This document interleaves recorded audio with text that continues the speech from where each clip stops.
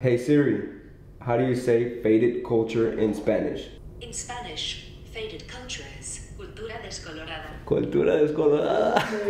¿Cómo andamos, Faded Culture? Me llamo Sergio Barrón y al fin les traigo mi primer tutorial en español para todos, los que, para todos los que me lo han estado pidiendo abajo en los comentarios.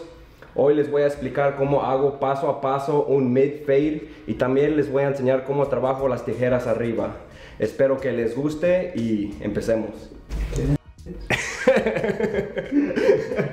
Idéntica eres.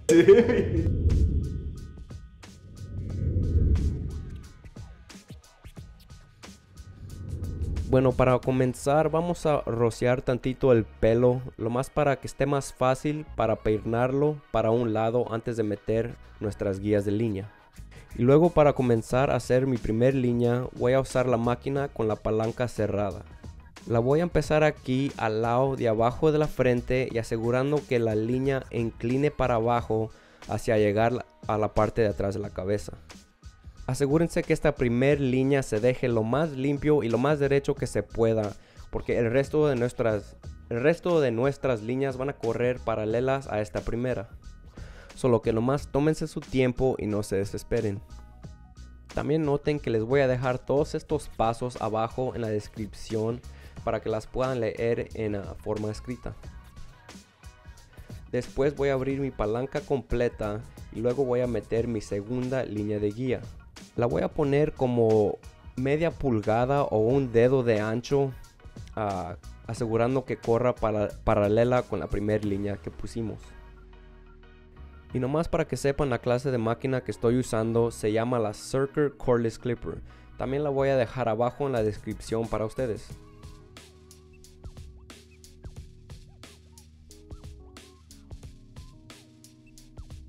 Enseguida voy a usar la guardia número 1, todavía con la palanca completamente abierta. Y luego comenzaré la siguiente línea de guía subiéndola como media pulgada o otro dedo de, ancho. Y cuando están poniendo estas líneas de guía, no tienen que poner tanta fuerza a la cabeza. Lo más dejen la máquina que haga su trabajo y ustedes lo más guíenla con las manos. Y también asegúrense de ir limpiando el cabello que van cortando para poder distinguir sus líneas más claramente. Enseguida voy a usar la guardia número 2 todavía con la palanca completamente abierta. Y luego pondré mi siguiente línea de guía todavía subiéndola como media pulgada tratando de no subirla mucho.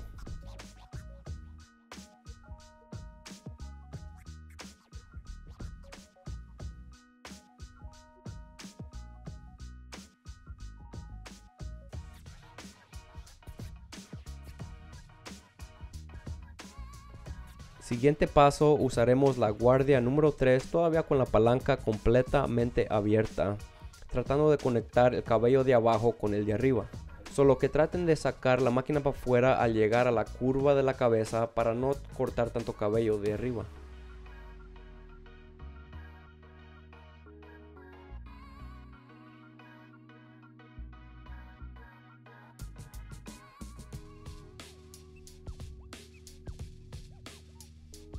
Y así como lo ven tenemos nuestras tres líneas de guías que necesitan borrarse. Vamos a borrar una por una empezando con la de más arriba. Y para esta línea para borrarse voy a usar la guardia una y media. Pero esta vez en vez de usarla con la palanca abierta completamente la voy a cerrar poquito a la posición 3 cuartos. Y uh, usando como las esquinas de la máquina voy a borrar uh, poco a poco la raya hasta que se borre completamente. Y si en ciertas partes ustedes creen que necesiten abrir o cerrar la palanca para borrar la raya más clara, ah, entonces háganlo. Dependiendo del cabello del cliente va a requerir ciertas ah, partes que abres o cierres la palanca tantito para que se borre más claramente la raya. Borrando estas líneas es un proceso, pero no se desesperen, lo más trabajenla poco a poco hasta desvanecerlas lo más limpio que se pueda.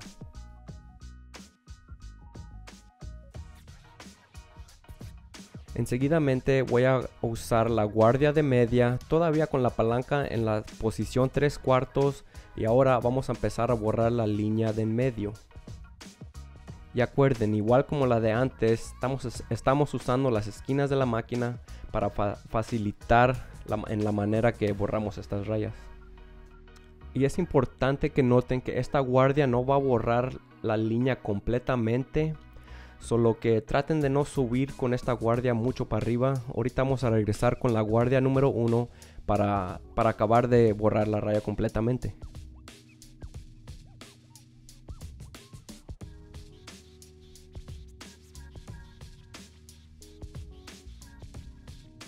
Y así como les dije que no se borró completamente con la guardia media, ahora vamos a usar la guardia número 1 todavía con la palanca en la posición 3 cuartos y vamos a trabajar el resto de esa línea para desvanecerla lo más limpio que se pueda. Y también moviendo la máquina en diferentes ángulos y utilizando lo más las esquinas de la máquina para poder borrar la raya lo más efectivo que se pueda.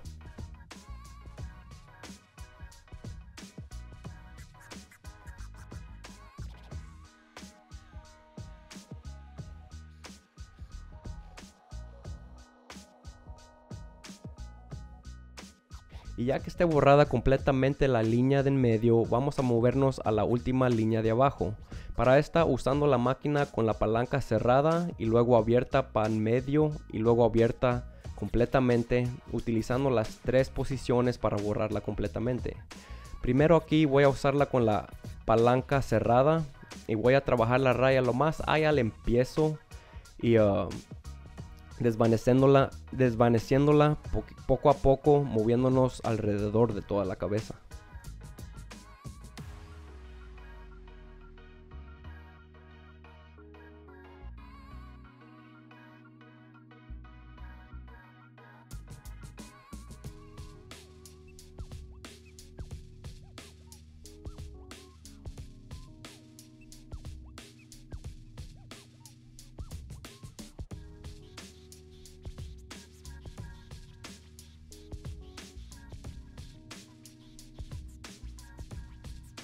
Yendo para adelante, ahora voy a abrir la palanca, como les dije, para en medio.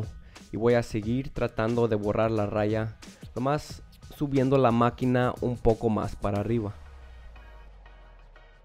Igual como antes, vamos a usar esta posición de palanca hasta llegar al otro lado de la cabeza y antes de abrir la palanca completamente. Y si andan aprendiendo algo de nuestro canal, por favor déjenos saber abajo en los comentarios. Y también asegúrense que anden suscribados a nuestro canal para que no pierdan cada vez que bajemos nuestros tutoriales.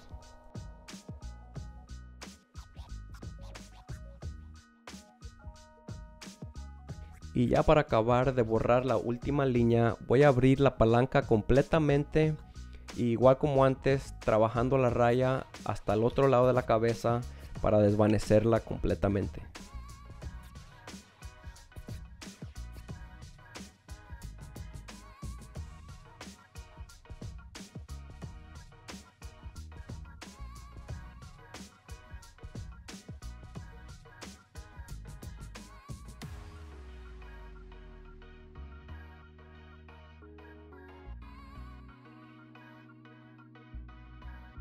Y ya que esté borrada la línea completamente, el siguiente paso va a ser trabajar nuestros puntos de detalles.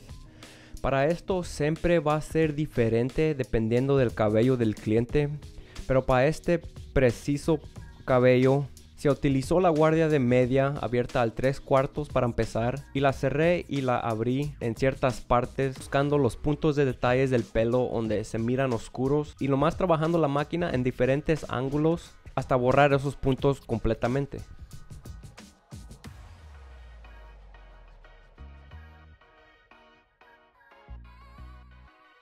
A continuación, para comenzar a cortar la parte inferior del cabello, entraré con la máquina al revés, ya que esto deja una guía más calva.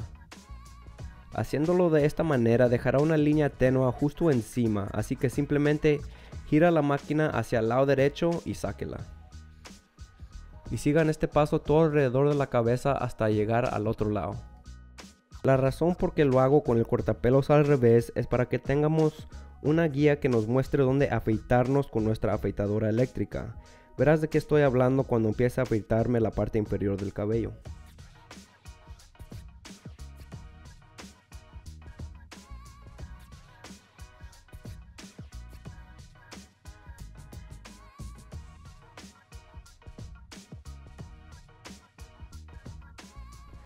Entonces a continuación comenzaré a eliminar el resto del cabello que está debajo con la máquina. Y aquí verás esa línea tenue de la que estaba hablando que nos mostrará qué tan alto afeitarnos con nuestra afeitadora eléctrica.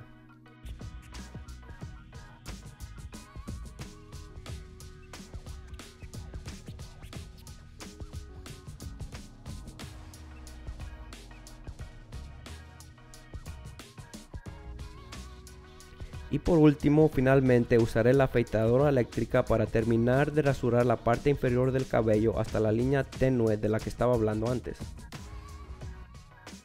Y asegúrese de cuando llegue a esa pequeña línea tenue, libre la presión sobre la afeitadora eléctrica para que no cree más líneas en el desvanecimiento. Y si formas alguna línea otra vez con la afeitadora, está bien, puedes volver otra vez con la máquina y sacarlas de inmediato. A continuación reduciré las patillas con la barba usando la misma técnica que usamos en el corte de pelo. Solo que nomás pongan sus tres líneas de guía y desvanezcanlas. Avanzando comenzaré a rociar el cabello para comenzar el trabajo con mis tijeras. Primero dividiré una sección central para determinar la forma y lo largo que cortaremos.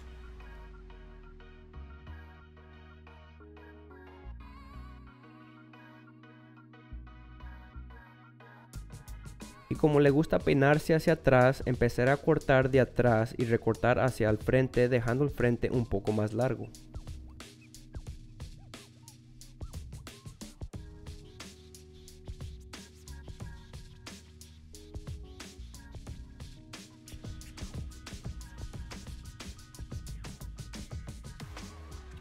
Y ahora para igualar esta sección con el resto del cabello, comenzaré desde la parte posterior derecha tomando una pequeña sección asegurándome de agarrar un poco de cabello de mi sección central y simplemente cortar para igualar con lo largo.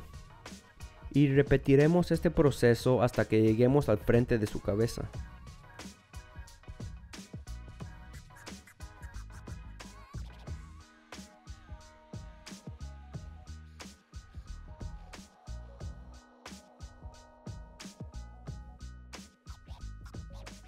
Una vez que hayamos terminado con el lado derecho, repetiremos el mismo proceso nuevamente comenzando desde el lado izquierdo posterior y avanzando hacia el frente.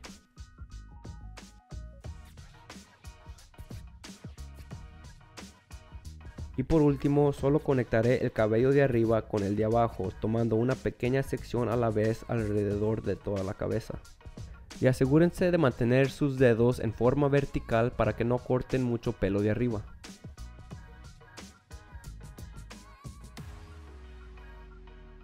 Luego, una vez que hayas terminado, simplemente secarás el cabello en la dirección que la quieres que quede, en este caso hacia atrás.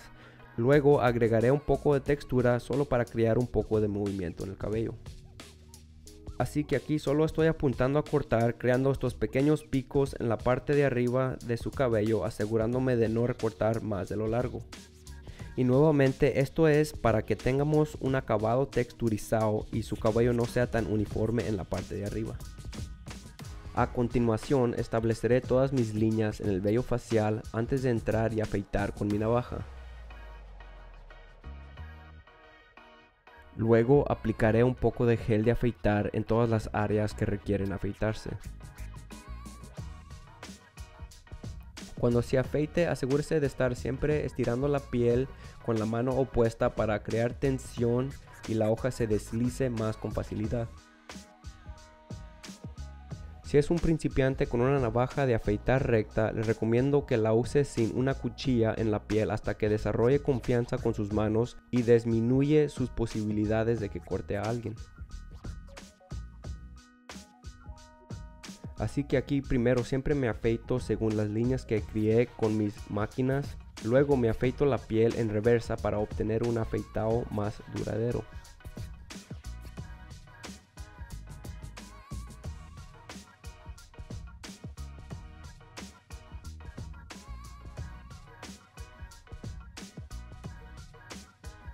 Y ahora para terminar este corte de pelo le aplicaré una pomada de acabado mate y lo peinaré hacia atrás.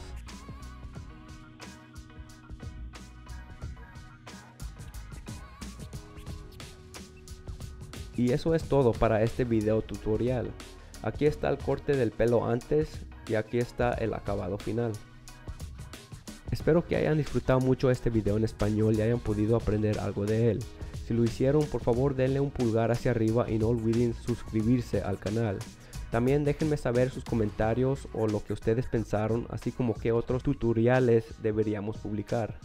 Así que gracias a todos por ver. Somos Faded Culture y me llamo Sergio Barrón y los veré en el siguiente video.